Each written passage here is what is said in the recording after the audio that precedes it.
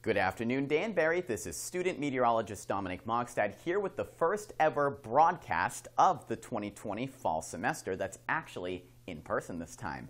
Let's start off this milestone broadcast with a picture that comes to us from Danbury at 2 o'clock in the afternoon showing some mostly sunny conditions with temperatures around the 64 degree mark and a 50 degree dew point, which brings us to a humidity of 60%. So not as humid as last week, but we definitely could be a lot less humid, that's for sure. And winds from the northeast at 5 to 10 miles an hour. And bringing it over to the current visible satellite imagery, you can see those clouds across the northeast and then some more cloud and rain activity off the coast with this cold front which has since pushed off of the eastern seaboard. And then behind that cold front, we do have a high pressure system situated across the central regions of the country and over here to the western regions of the country. So keeping those places high and dry.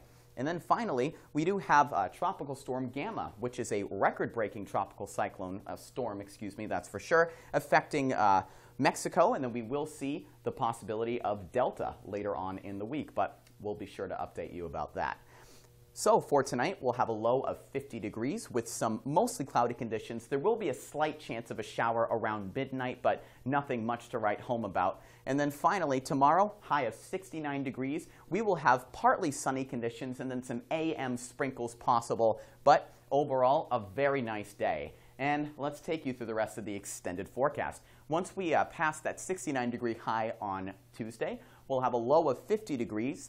Wednesday brings us partly sunny conditions at 71 degrees, so a little bit warmer out there. 49 degrees for a low on Wednesday night.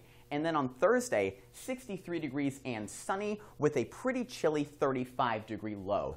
Friday, another sunny day at 60 degrees and 42 degree low. And then starting off the weekend, Saturday brings us a nice high of 71 degrees and some sunny conditions. So we can thank that high pressure system for giving us some nice you know, early fall weather. Once again, this has been student meteorologist Dominick Mogstad. Thank you so much for watching, and I hope you enjoy the rest of your week. Stay safe out there.